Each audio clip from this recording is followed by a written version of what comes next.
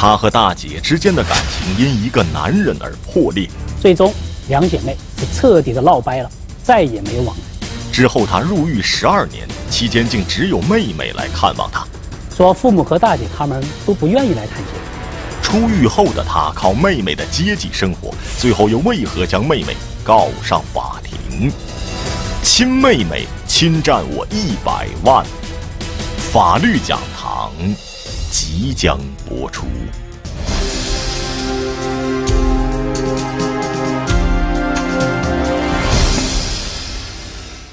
各位观众朋友，大家好，欢迎收看本期法律讲堂。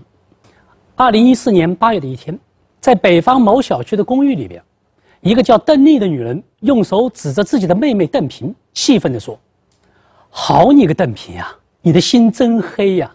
一百万全被你吞了，而且还骗了我这么多年，你这是要我的命呢！”邓平却委屈地说：“这些年我每个月都到监狱去看你。”你生病了，我还买药给你，到现在那一百万早就用完了，我哪里还有钱给你啊？邓丽是流着泪说：“我是你亲姐啊，我这坐了十几年的牢已经够苦了，你把钱还给我吧，这可是我的救命钱啊！”听完这话，邓平是一言不发，摆出了一副无所谓的态度。姐姐邓丽是气得直发抖，瘫坐在地上嚎啕大哭。这对姐妹之间究竟发生了什么？这一切还得从姐姐邓丽不幸的婚姻开始讲起。原来，邓丽在十多年前啊，曾经因为持刀杀夫而被判重刑。事实上，邓丽是一个很不幸的女人，她所有的不幸都来源于一场失败的婚姻。邓丽的娘家是一个普通的家庭，邓丽姐妹三个人，邓丽排行老二。这高中毕业的邓丽没有考上大学。于是跟着开理发店的大姐一起做事儿大姐对邓丽那是言传身教，对她很是照顾，姐妹俩的感情非常好。就在邓丽在理发店学艺的这段时间里边，理发店里经常来的一个叫秦朗的男人，对邓丽是花言巧语，还经常送一些小礼物给她。在邓丽的心目中啊，他认为秦朗对她是体贴入微，将来肯定能够给她带来一辈子的幸福。所以啊，邓丽很快的就坠入了爱河。可是邓丽的父母和大姐都坚决反对她跟秦朗交往，因为秦朗这个人嘴很甜，但是心眼却很小，甚至可以说有一些怪异。而且啊，听说他还有酗酒的坏毛病。说如果邓丽要选秦朗的话，那以后就一刀两断，别再回这个家。万万没想到，这倔强的邓丽竟然执意的就是要嫁给秦朗。并且在秦朗的鼓动下，从此真的与父母断绝了往来。由于父母不同意这桩婚事，再加上秦朗呢也不太愿意让邓丽出去工作，所以啊，邓丽这结婚以后，每天都在家里边做做家务。直到有一天，邓丽没跟秦朗打招呼，就和高中的女同学一块外出去聚会。谁知道啊，这傍晚回到家，这邓丽一推开门就发现，家里边是凌乱不堪。这锅碗瓢盆都洒了一地，秦朗喝的是酩酊大醉，一见邓丽，一个巴掌就扇在他的脸上，直接把邓丽打倒在地。邓丽看到秦朗那扭曲的脸，吓得根本不敢出声这还是那个温文尔雅的丈夫吗？邓丽第一次啊流泪到天明。第二天，清醒后的秦朗看到满身是伤的妻子邓丽，不断的道歉，请求妻子的原谅。善良的邓丽看到一脸诚恳的丈夫，还是选择了原谅。可是让邓丽不知道的是，她噩梦般的生活也就这样开始了。从那以后啊，这丈夫秦朗的疑心病就犯了。每一回他出门啊，就要盯着邓丽。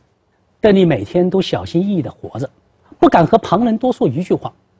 可是秦朗呢，却是越来越酗酒，只要一喝醉。他就无端的指责邓丽，而且啊，他还不允许邓丽有任何的反抗，甚至连躲一下都不行，否则便是一顿毒打。这邓丽是一个要强的女人，尽管她遭受了这样的家庭暴力，可是她呢，却咬着牙没有对任何人说。她只对最亲近的大姐啊，略微的说了那么一点点。这大姐劝邓丽早点离婚拉倒，现在的邓丽很后悔当初没有听父母的劝阻，以至于现在过得如此不堪。而且因为丈夫的家庭暴力，已经导致自己两回流产。对于未来，邓丽已经绝望。邓丽曾经鼓足勇气啊，向丈夫提出离婚，可是得到的却是秦朗的一顿拳打脚踢。这打完以后，秦朗还威胁说：“想离婚是吧？那你就是死路一条。我不但要把你给杀了，还要把你全家都杀光，尤其是那个劝你离婚的大姐。如果你还和她来往来的话，我第一个就要灭了她。”听到这话，邓丽害怕了。从那以后啊，邓丽是再也不敢去找自个的大姐，并且有意的疏远，保持距离。可是邓丽的大姐并不知道秦朗对邓丽的这番威胁。他大姐眼看着妹妹邓丽对他疏远，她是恨铁不成钢。原本感情很好的两姐妹为这个事儿啊是大吵了一架，最终两姐妹是彻底的闹掰了，再也没有往来。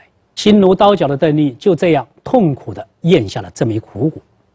可是更悲哀的遭遇还在后边。在几个月后。邓丽第三次怀孕，可是她的苦日子并没有因为这一次怀孕而有任何的改变。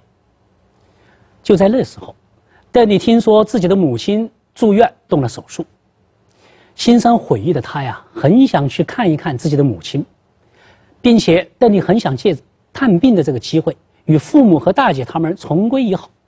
可是没想到的是，这邓丽啊，刚一进门，还没来得及说出自己的想法。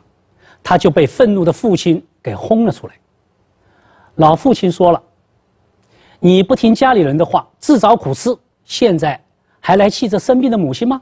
我们邓家没你这样不孝的女儿。”邓丽是一路哭着走回了家，她的情绪已经完全崩溃了。可是刚刚到家的她，又被喝醉酒的丈夫秦朗无故殴打。这种殴打一直持续到了深夜。邓丽遭受了一夜的毒打，感到自个儿是下腹疼痛，鲜血直流。她知道自己这刚怀上的孩子肯定又没了。邓丽觉得自己所遭受的委屈和痛苦都是那个恶魔般的丈夫秦朗造成的。这种没有未来的日子早应该结束了，而只有秦朗死了，自己才可以得到解救。想到这儿，她做了个惊人的举动。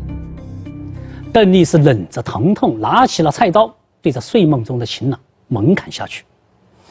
他亲手杀死了这个曾经给他带来快乐，现在又把他推入痛苦深渊的男人。这杀人后的邓丽啊，主动的打了幺幺零和幺二零，等待着警察的到来。警察和医生赶到现场以后，确认秦朗被杀，当场死亡。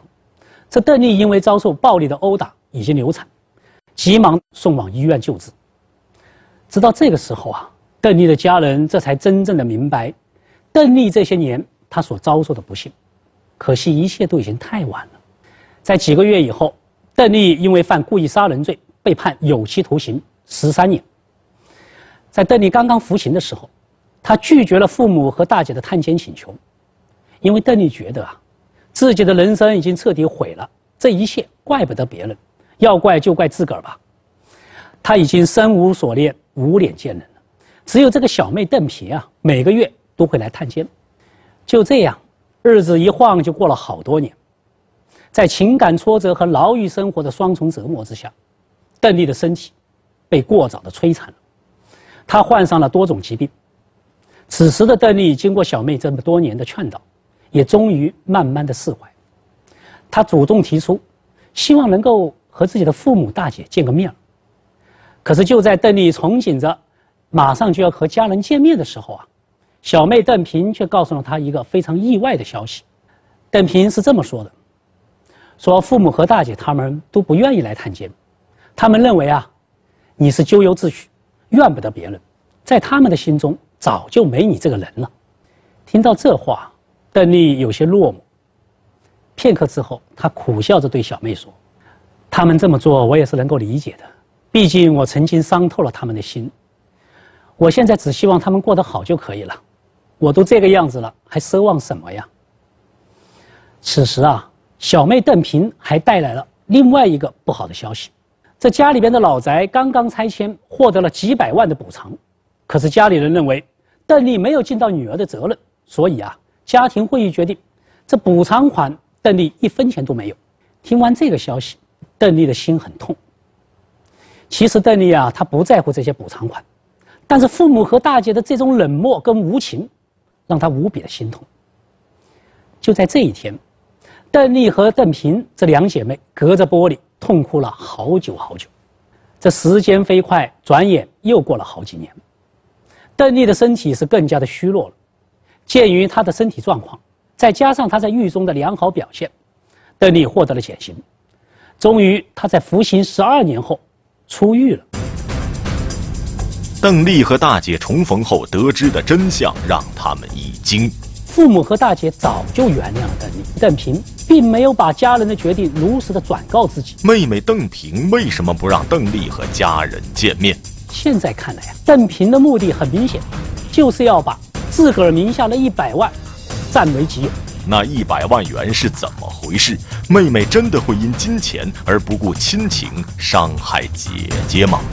亲妹妹侵占我一百万，法律讲堂正在播出。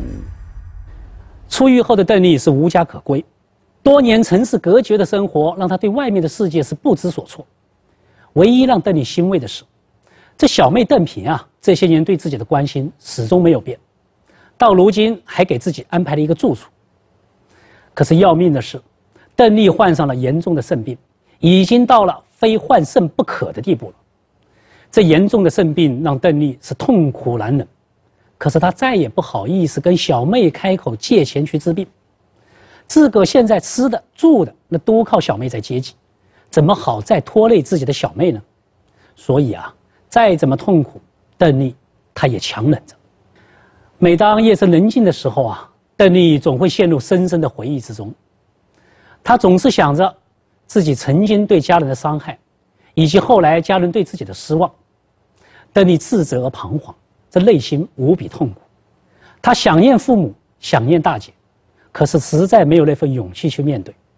邓丽也曾经跟妹妹邓平打听父母现在的住址，她想要偷偷的去看一下，可是邓平却告诉邓丽，说父母他们过得现在很好，并且啊，父母已经知道邓丽出狱了，可是呢，父母带话，叫邓丽别再去打扰他们的生活。听了妹妹邓平的话。邓丽心里难受极了，因为从妹妹转达的话语中，她听得出父母至今还是没有原谅她。难道一切都回不去了吗？她一边自责着，一边痛苦地活着，直到一件事情的发生，让他知道了事情的真相。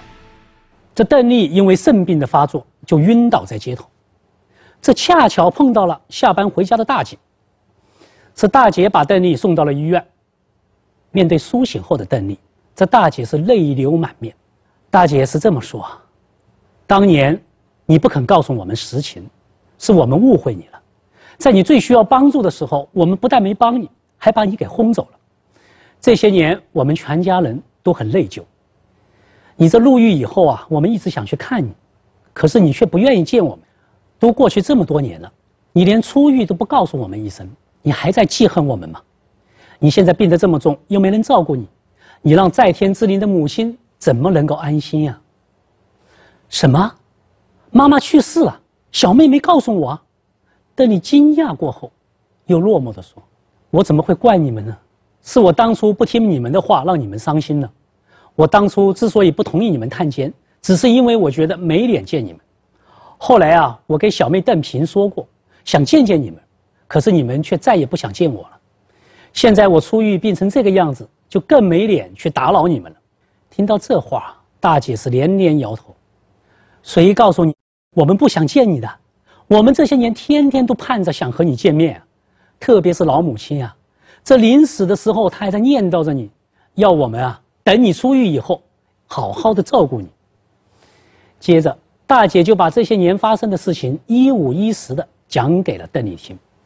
原来在邓丽入狱之后啊。父母和大姐早就原谅了邓丽，只是因为邓丽自个儿无法释怀，这才导致家人无法探监。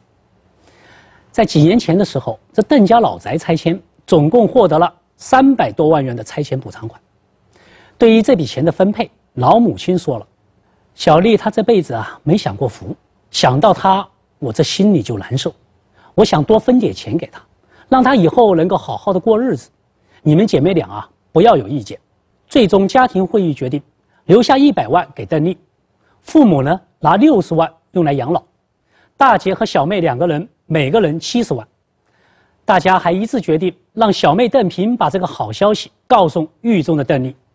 在邓平探监之后啊，小妹告诉家人说邓丽还是不愿意见父母，同时啊，说邓丽委托他来保管这个拆迁款。邓丽的这个表态让家里人的心中啊很失落。听到大姐的这些话，邓丽心里明白了，当年小妹邓平并没有把家人的决定如实转告自己，她还欺上瞒下，故意制造误会。现在看来，邓平的目的很明显，就是要把邓丽那一百万元占为己有。伤心的邓丽啊，把事情的真相告诉了大姐。说到动情之处，两个人都是泣不成声。这一对早已断交多年的姐妹，终于重归于好。哭了好一会儿，大姐擦干眼泪，提出要把邓丽带到父亲那里去，并且打电话叫小妹邓平来解释一下她为什么要这么做。于是啊，这才出现了我们节目开头讲的那一幕。邓平他面对姐姐的质问，他是一言不发。这个时候，在一旁的老父亲气的是浑身发抖，一个劲儿的说：“邓平呀，你心怎么这么狠？你还是人吗？”说完这话，这老父亲胸闷的差一点就晕倒。大姐赶忙上前安抚老父亲，对着小妹邓平说：“过去的事情已经过去了。”我们现在不追究你的责任，你二姐啊，她是必须要去换肾的，你赶紧把那一百万拿出来给她治病吧。可是无论大姐怎么劝说，邓平都无动于衷，说来说去就是两个字儿：没钱。那这个邓平是不是真的没钱呢？当然不是。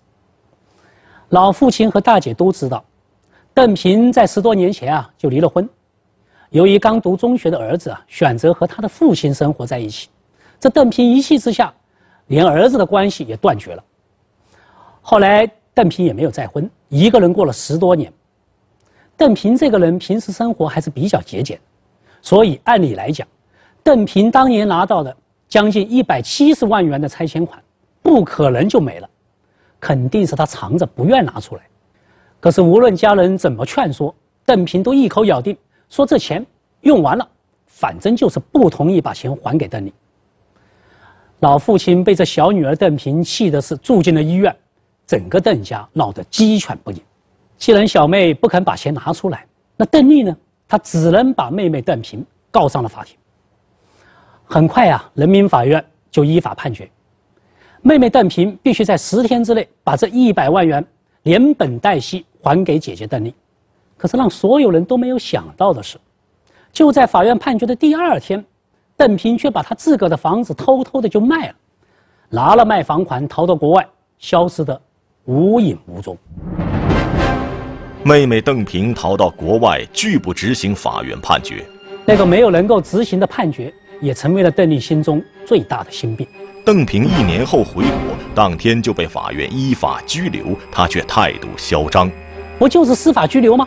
最多十五天，到时候你们还得放了我。”邓平拒不执行判决，是否属于更严重的犯罪？他侵占姐姐拆迁款，又有怎样不为人知的背景？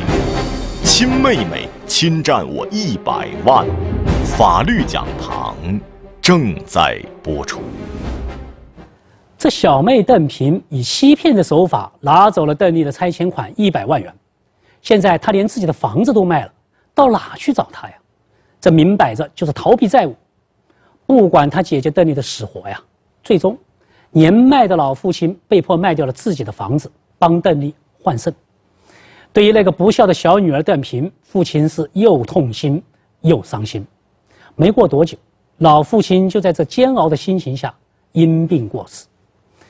那个没有能够执行的判决，也成为了邓丽心中最大的心病。这值得庆幸的是啊，法院的执行庭并没有放弃努力。这二零一五年，事情有了新的转机。由于法院啊早已经把邓平列为失信被执行人的名单之中，因此，当失踪一年多的邓平刚刚从国外回国入境，这出入境管理处就把这个信息告知了法院。法院得知以后，执行庭的法官第一时间找到了邓平，要求邓平去履行这个生效的判决。可是邓平啊一点儿都不配合，当天邓平就被法院依法予以了司法拘留。可是被拘留以后的邓平并没有悔改，他反而叫嚣地说：“不就是司法拘留吗？最多十五天，到时候你们还得放了我，反正我没犯法，难不成你们还想抓我判刑啊？”对于这个恶意逃避债务的小妹邓平，到底能不能够判他的刑呢？法律真的就拿他没办法了吗？这就是我们今天所要讲的法律知识点：拒不执行判决罪。根据《中华人民共和国刑法》第三百一十三条的规定，对人民法院的判决裁定有能力执行而拒不执行的，情节严重的，处三年以下有期徒刑、拘役或罚金。本案中的小妹邓平作为债务人，在得知判决结果之后啊，故意变卖房产逃逸，致使判决在生效之后迟迟的无法执行，这个情节非常严重，足以构成本罪。所以啊，邓平的说法是完全错误的。最终，法院认定，邓平长期侵占姐姐邓丽的拆迁补偿款，数额巨大，在有能力执行的情况下，恶意转移财产，情节严重，其行为已经构成了拒不执行判决罪，依法判处有期徒刑一年，并且在该判决中继续重申了妹妹邓平具有继续还款的义务。得到了判决结果的邓丽啊，不禁有些叹息，毕竟大家姐妹一场，没想到。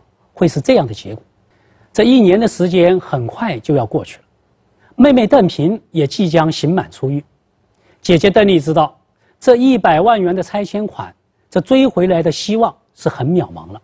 因为邓丽曾经好几次到狱中去探望妹妹，她想用亲情来感化邓平，可是妹妹邓平呢却不为所动。看着狱中的妹妹，邓丽是感慨万千，想想当年。这妹妹邓平也曾经是这样的来探望自己，这么多年的姐妹感情，在金钱面前，难道真的就这么荡然无存了吗？现在钱很难追回来，姐妹俩也因此变成仇人。就在邓丽无奈绝望的时候，刚刚出狱的妹妹邓平却带着一个年轻小伙子上门来找邓丽，并主动偿还欠她的所有款项。邓丽感到很妹的态度怎么突然之间有这么大的转变？那个和妹妹一起的小伙子又是谁呢？此刻啊，邓平满怀歉意的讲起了他当年拿走姐姐邓丽一百万元拆迁款的具体经过。原来啊，这个小伙子就是邓平的儿子。当年邓平在离婚的时候，这个读中学的孩子没有选择跟母亲。这让邓平是无比的失望，在一气之下，邓平就跟这个儿子断了往来。这一晃过了好多年，后来在一次偶然的机会中啊，他们母子俩再次的相认。此刻邓平才知道，当年孩子之所以没有选择跟他，是因为邓平的前夫曾经威胁过孩子。这恐吓之下，孩子为了保护母亲，才做出了无奈的选择。当邓平得知啊，自个的孩子想出国留学。却因为筹不到学费而苦恼的时候，邓平也同样是坐立不安。邓平他为了弥补自己对孩子的愧疚，他很想帮自己的儿子度过这个难关。由于邓平已经把自己拆迁分到的七十万买了住房，他手头上实在是没有现金。这想来想去，邓平就打起了姐姐邓丽那一百万元拆迁款的主意，帮自个的儿子出国留学。所以啊，他生的是没有能力来偿还，最终他只好硬着头皮扛到底了。说到这儿啊，邓平是扑通一声跪在了姐姐的面前，泣不成声地说：“对不起，是我太自私了，我为了自己的母子感情，却扼杀了我们姐妹的亲情，还差点害了你的性命。如果不是我儿子的劝说，或许到现在啊，我还在执迷不悟。我对不起你。”希望你原谅我吧。这时候啊，邓平的儿子扶着母亲，接着说：“阿姨，对不起，因为我的原因让大家都受苦了。我希望你能原谅我的母亲，给她一个重拾亲情的机会吧。其实啊，当他得知自己的母亲为了供自己出国留学的时候，居然侵吞了姐姐的拆迁款，整个邓家因此反目为仇。在回国之后，邓平还被判了刑，这所有的一切，都让他这个做儿子的实在无法心安。所以啊，他特意赶回国内劝说了母亲邓平。当邓丽听完了小妹邓平母子俩的这一番话之后啊，她也是泪流不止。此时此刻的邓丽不知道要说什么，这多少的委屈、心酸、痛苦跟挣扎，就这样在彼此的泪水中洗刷干净。邓丽紧紧地抱住了小妹邓平，那冰封已久的隔阂瞬间融化了。大家终于明白了，在这世上还有什么比亲情更为可贵的呢？我们说，小妹邓平，她被金钱蒙蔽了双眼，忘却了亲情，变得无比的自私和贪婪。其实啊，金钱固然很重要，但是比金钱更重要的是人的良知和底线。幸亏邓平在儿子的劝说下，终于醒悟。放下了贪念，去真诚的给自己赎罪，只有这样才能获得真正的亲情和人性。好，本期法律讲堂就给大家讲到这里，观众朋友们，我们下期再见。为了帮堂姐摆脱流氓纠缠，他将流氓打晕，扔进河中。最终，这个王明居然没有死。堂弟面临故意杀人罪的指控，关键时刻，堂姐说出一个让人震惊的消息：吴强真的不是他的弟弟，他就是吴梅的孩子。堂弟变儿子是缓兵之计，还是另有隐情？仇人竟是生父。明日播出。